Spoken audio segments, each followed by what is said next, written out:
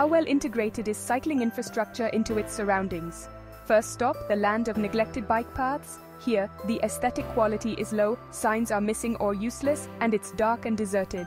Next, we move to areas with some effort but still not great. You'll find a mix of bad and slightly better paths. Signs are there but only do half the job, and safety, it's hit or miss.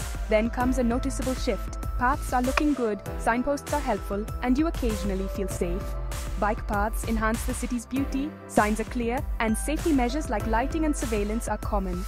Finally, the gold standard. Exemplary design, perfect signposting, and top-notch safety everywhere. This is chapter 4 of the self-assessment tool of the International Cycling Community of Practice.